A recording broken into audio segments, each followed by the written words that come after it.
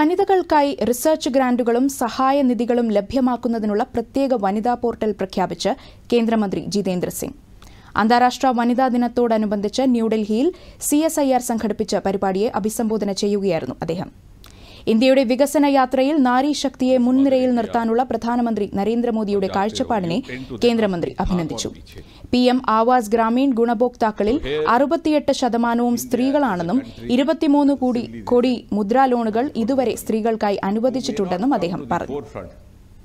കഴിഞ്ഞ ഒൻപത് വർഷത്തിനിടെ വനിതാ പോലീസ് ഉദ്യോഗസ്ഥരുടെ എണ്ണം വർദ്ധിച്ചുവെന്നും പതിനായിരത്തിലധികം വനിതാ ഓഫീസർമാർ സായുധ സേനയിൽ സേവനമനുഷ്ഠിക്കുന്നുണ്ടെന്നും കേന്ദ്രമന്ത്രി ജിതേന്ദ്ര സിംഗ് വ്യക്തമാക്കി